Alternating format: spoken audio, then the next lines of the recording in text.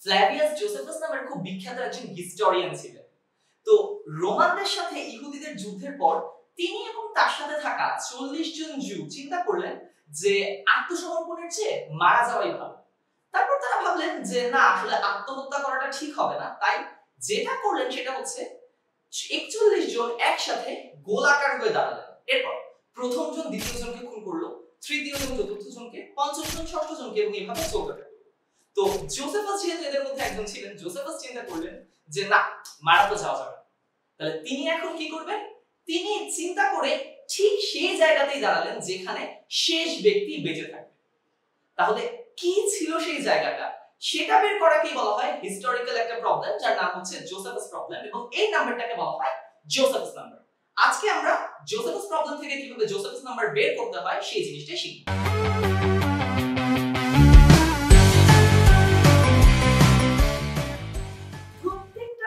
Problem solve করার সময় আসলে প্রথম যেটা করতে হয় সেটা হচ্ছে গেট ইউর হ্যান্ডস ডার্টি যত পারো নাম্বার নিয়ে এক্সপেরিমেন্ট করা শুরু করো। তো আমরা যেটা করব এখন, আমরা একটু চিন্তা করব যে বিভিন্ন সংখ্যার জন্য আসলে নাম্বারগুলো কি রকম হতে পারে। তো প্রথমে চিন্তা করি, যদি জাস্ট একজন থাকে, তাহলে কি হবে? তাহলে সেই সব একদম শেষে জীবিত থাকা ব্যক্তি, তার মানে number of 1 is equal to 1 আচ্ছা যদি জাস্ট দুইজন থাকে তাহলে কি হবে? তাহলে এক, দুইকে মারবে বেঁচে থাকবে। সো দুইজনের জন্য আনসার হচ্ছে 1 তিনের জন্য সিমিলারলি আনসার হবে 3 চারের জন্য কি হবে? এক, দুইকে মারবে, তিন, চারকে মারবে, এক, তিনকে মারবে এবং ফাইনালি এক বেঁচে থাকবে। সো চারের জন্য আনসার হচ্ছে এক। এবার যদি আমরা পাঁচ জনের জন্য জিনিসটা চিন্তা করি, তাহলে ব্যাপারটা বেশি ইন্টারেস্টিং হয়। এক, দুইকে মারবে, তিন, চারকে মারবে, পাঁচ, এককে মারবে এবং তিন, পাঁচকে মারবে। তার মানে একদম শেষ পর্যন্ত জীবিত থাকবে। তিন তাহলে একইভাবে তোমরা ছয়, সাত, আট, নয়, দশ, এরকম করে সবগুলো নাম্বারের জন্য জোসেফাস নাম্বারটা হাতে এক্সপেরিমেন্ট করে বের করে ফেলতে পারবে। এবার আমরা একটু বড় একটা সংখ্যা, এগারোর জন্য চিন্তা করি যে জোসেফাস নাম্বারটা কীরকম হতে পারবে। তো শুরু করা যাক এক থেকে। এক দুই কে মারবে, তিন চার কে মারবে, পাঁচ ছয় কে মারবে, সাত আট কে মারবে, নয় দশ কে মারবে, এগারো এক কে মারবে তিন পাঁচ কে মারবে সাত নয় কে মারবে এগারো তিন কে মারবে সাত এগারো কে মারবে তো শেষ পর্যন্ত বাকি থাকে সাত। তো এগারোর জন্য আমাদের আনসারটা হচ্ছে সাত।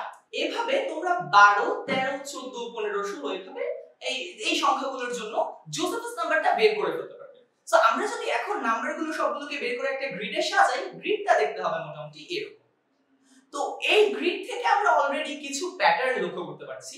নাম্বার ওয়ান যে তুমি দেখতে পাবে যে সবগুলো সংখ্যাই কিন্তু আসলে বিজোড় সংখ্যা। কেন? এটা বোঝাটা খুবই স্বাভাবিক, কারণ প্রথম রাউন্ডে সব জোড় সংখ্যা মারা যায়।